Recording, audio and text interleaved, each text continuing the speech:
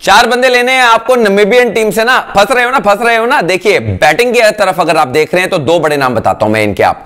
एक है Stephen BART जो ओपनिंग करेंगे, और एक है क्रैक विलियम्स जो मिडिल ऑर्डर में खेलेंगे। ये दोनों के दोनों नॉट बैड दोनों उतने ही देते हैं। मगर मैं आपको स्टार्ट करता हूँ ये बताने में कि क्रेग विलियम्स क्या करते हैं। क्रेग विलियम जो है 21.8 एवरेज पॉइंट्स देते हैं, पिछली पाँच गेमों का एवरेज है ये। देखिए हाईएस्ट स्कोर 40 रन का रहा है पाकिस्तान के अगेंस्ट अरे नॉट बैड यार, पाकिस्तान के अगेंस्ट 40 मारे इन्होंने। और एक 23 मारा था स्कॉटलैंड के अगेंस्ट आइए अब देखते हैं स्टीफन बार्ड को लेफ़्ट हैंडेड ओपनिंग बैट्समैन है ब्यूटीफुल प्लेयर है, ठीक है? आपको ये हर गेम में कुछ कुछ रन देते हैं, कभी बड़ा स्कोर नहीं देते, मगर 27 एवरेज पॉइंट्स हैं। तो ये क्रेक विलियम से ज़्यादा है। 21 29 19 7 और 8 इनके हैं टोटल स्कोर देख सकते हैं इनकी तरफ़ भी।